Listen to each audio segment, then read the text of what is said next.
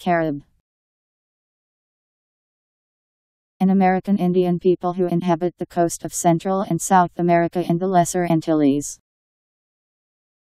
Any of the languages of these people. C A R I B Carib